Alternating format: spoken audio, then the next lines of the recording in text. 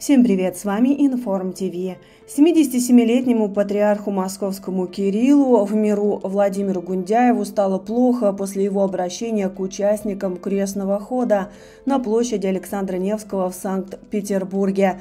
Инцидент произошел несколько минут назад, об этом сообщило одно из изданий. После завершения мероприятия у него ухудшило самочувствие, его отнесли к машине скорой помощи.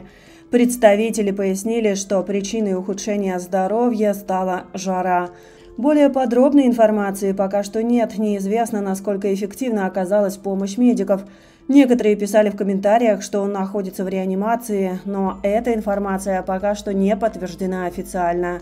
Напомним, патриарх Кирилл занимает пост с 2009 года. Два года назад он переболел коронавирусом, но продолжил работать. В июне этого года он не смог произнести проповедь на литургии из-за проблем с голосом. С тех пор его состояние ухудшалось.